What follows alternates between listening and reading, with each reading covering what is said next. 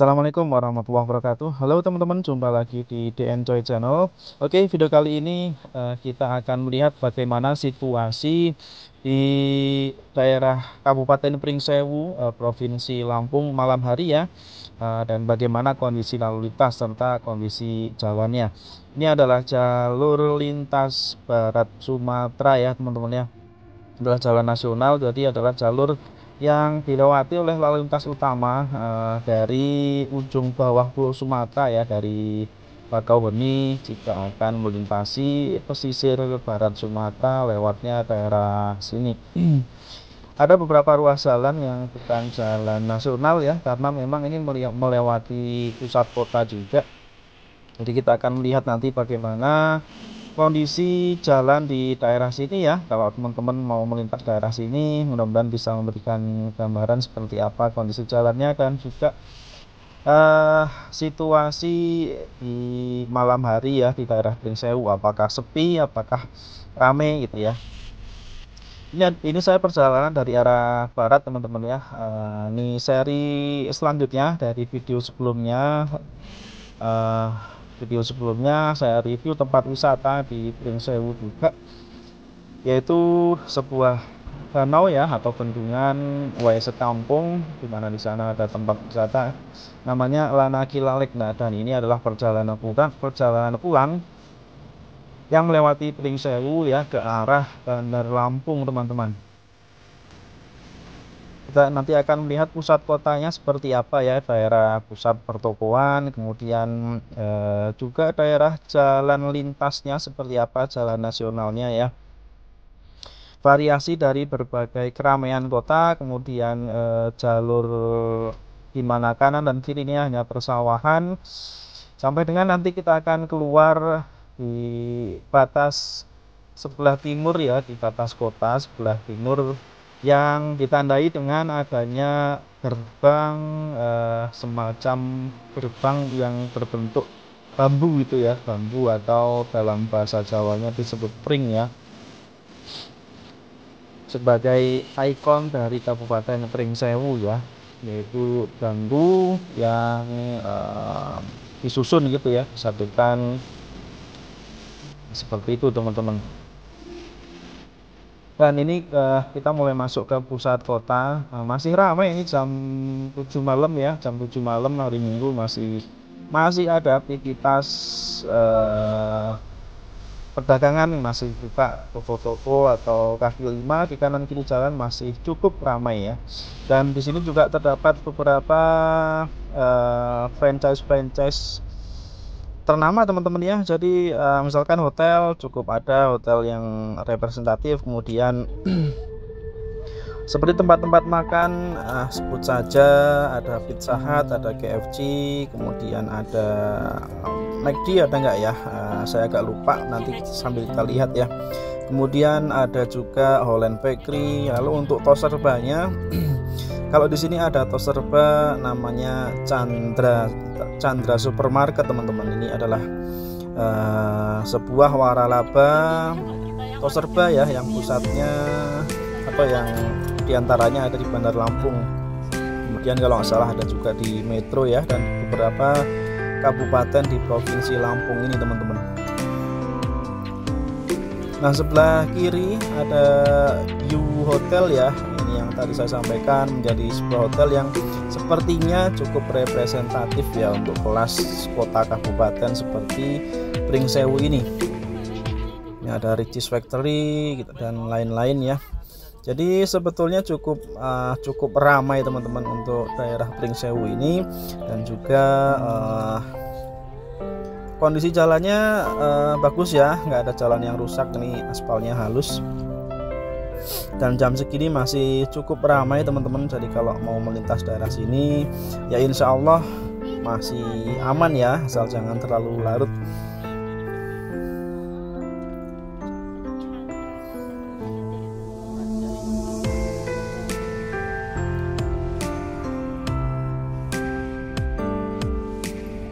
Daerah Pringsewu menjadi daerah perlintasan. Jika teman-teman mau melintas dari arah Bandar Lampung ke arah Pesawaran kemudian melewati Pringsewu dengan tujuan ke arah barat barangkali ke Kota Agung kemudian ke Liwa atau ke daerah pantai Krui ya objek wisata Krui atau terus ke Bengkulu dan ke arah barat ke bisa ke Sumatera Barat teman-teman ya atau naik ke arah Palembang